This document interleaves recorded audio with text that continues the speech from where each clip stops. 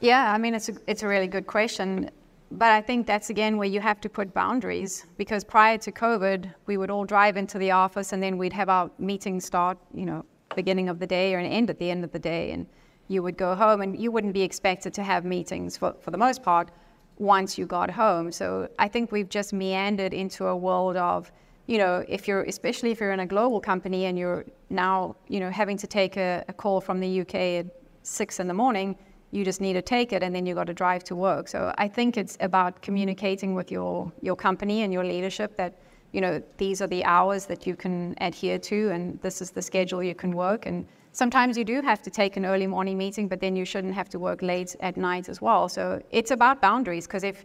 if you take the monkey, it's going to be yours forever. So you've got to put those boundaries there and you've got to say, this is my working hours, this is what I can accomplish and anything more than that, we have to have a, a, a talk about resources. And I, I think what I've experienced as well is there's been a gradual shift from leadership in a lot of companies that it just meanders into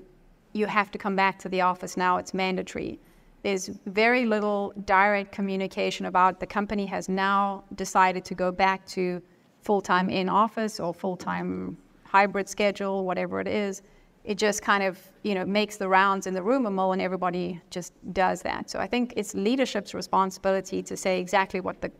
what culture they're trying to build um, make sure the structure follows that strategy and then everybody is very clear what their working hours are what the resources are and, and how they can get their job done. Otherwise it is you're right you're going to end up with burnout you're going to end up with unhappy employees who will call mike and look for another job